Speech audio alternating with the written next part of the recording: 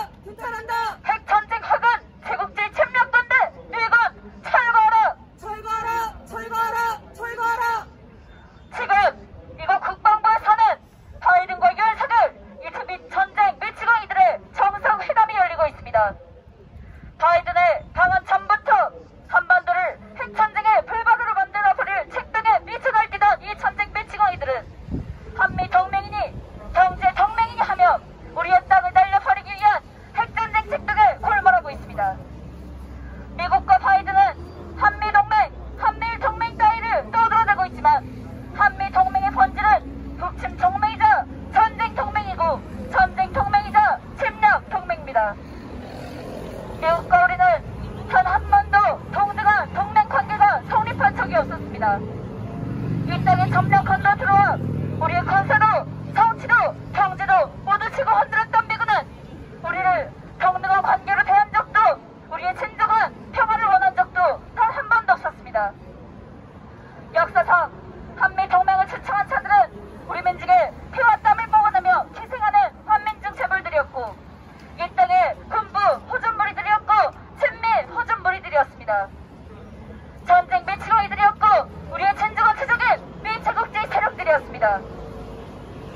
우리 민족의 수적에 미국과 일당의 친미 허전벌이 들이 지금 이 국방부에서 핵전쟁을 벌일 계획에 박차를 가하고 있습니다.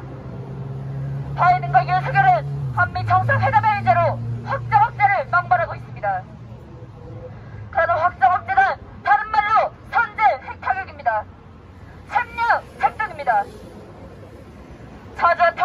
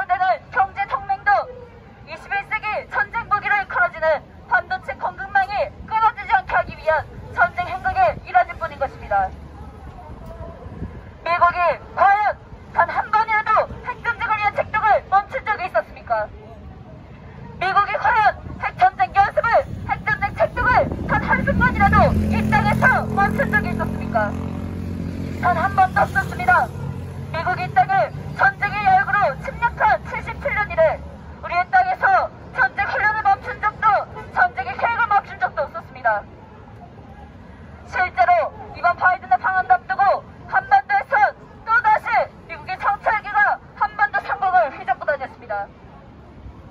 미 공군 정찰기 코브라브는 노골적으로 통해 상공을 비행했고 방한 시기에 발맞춰 항공모함들은 전방 배치가 되었습니다. 핵추진 항공모함인 에이브람 링컨함에서는 전투기들이 장거리 훈련을 실시했고 핵항공모함 로널드 레이건은 또다시 작전에 투입된 그 예고를 선포하고 들었습니다. 공식적인 한미연합 군사훈련이 끝난 지 얼마 되지도 않은 지금 그리고 지난 9일부터 한미연합 공주훈련이 차이되고 있는 지금 실제 핵전쟁 연습이 벌어지고 있는 지금 이루어진 방안이기에 이번 바이든의 방안은 더욱 위험천만한 전쟁 망발인 것입니다. 실제 전쟁 연습이 벌어지고 있는 지금 한반도에 미 제국주의 시장이 발을 디딘다는 것 자체가 우리 민족에게 던지는 전쟁의 예고장이며 우리 민족을 향한 핵전쟁 도발인 것입니다. 이번 방안이